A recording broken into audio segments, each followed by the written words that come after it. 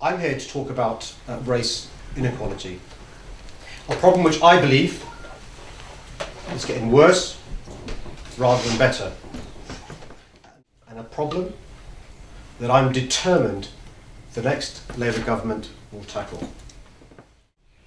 Or that Operation Black Vote's own research shows that any future majority government will only be possible with the support of ethnic minority voters.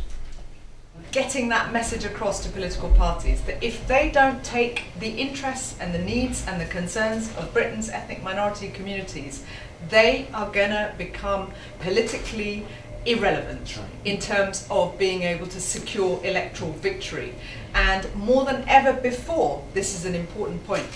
Fact is that if you're black or Asian in Britain today, you're significantly more likely to be unemployed, you will earn less, and you will live a shorter life than your white neighbours. This is both a moral and a political problem. It's an injustice that offends our basic sense of fairness. But the OBV report tells us just how powerful we are as a black community, and that is undeniable. But the real power, however, as we all know, lies in our action getting our communities registered to vote, working better together, understanding what our collective ask is, and above all, caring about each other. We demand that the political parties play their part, we'll play ours, and our whole society, black and white, surely will benefit from that. So I'm here to ask you to take part in Labour's race equality consultation. We need to hear from minority ethnic Britons, and I'll be talking more about that shortly. About the problems you experience in your lives. About how we can work together to fix them. We will then take what you tell us and use it to create a comprehensive race equality strategy.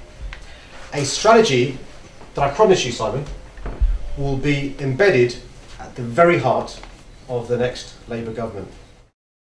It is in our moral and economic and national interest to make sure we promote race equality. And that's why it's an absolute scandal that we are basically going into reverse in employment, in terms of uh, representation in our top institutions. And that's not just on racial grounds, it's on social class grounds as well.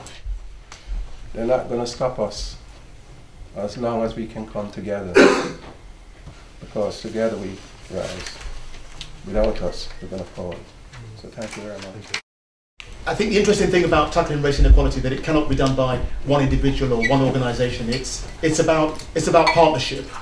And uh, looking around the room, I see many who have been part of that partnership. When the Labour Party wanted a response from the community, a caucus of black organisations, including BTEG, I saw Jeremy Jeremy Crockett, and uh, Kunle from Voice for Change, Lester Holloway, who actually wrote wrote this uh, report for us, Nina from Stop Stopwatch, uh, and the Runnymede Trust with Rob Berkeley, all came together uh, and said and said this: the whole must be greater than the sum of our parts.